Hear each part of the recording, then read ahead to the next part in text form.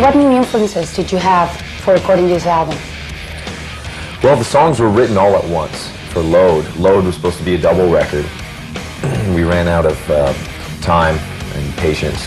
There was no way that we were going to uh, spend, you know, two years in, in the studio making it. Cause that's what how long it would have would have taken us because, you know, it was 30 songs. And so, what we decided to do is you know, put out Load, and then with the rest of the songs, a year later, release Reload.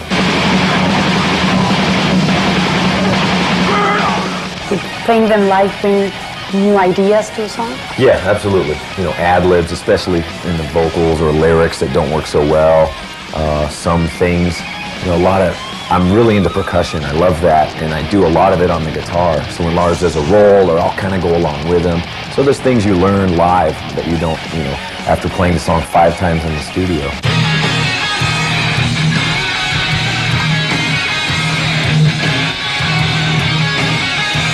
Uh, we've lived here the last. This is where we made the the line, the last three records. It's great. It's ten minutes from my house. I'm the one that lives closest to it, so I, I, I get more sleep than the other guys.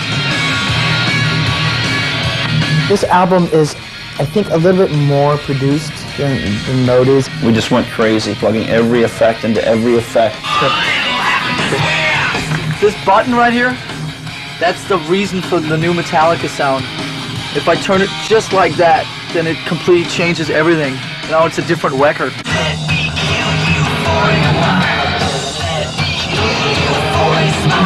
James is doing a lot of, a lot of really different vocal stuff. These songs are kind of the rest of Load, uh, but I think the more heavier, more extreme. That right there is the key. That's the button. So if you like load, thank that button. If you don't like load, it's that button's fault. The last album, Load, uh, received a lot of controversy, more because of the uh, hardcore fans. And what do you think Reload is going to do? Hopefully, it will prove to people, like we did on the live shows, that you know Metallica is Metallica, and it starts with the music. Too many people were focusing on what we looked like. You know, we didn't get into a band to be models or anything. You know, we got in a band to write music. We've already been working on this, creating this legend for whatever, 15 years or something. You know, it's our it's our thing now. It's up to us to like prove to ourselves that we can keep doing it, keep you know retain that magic.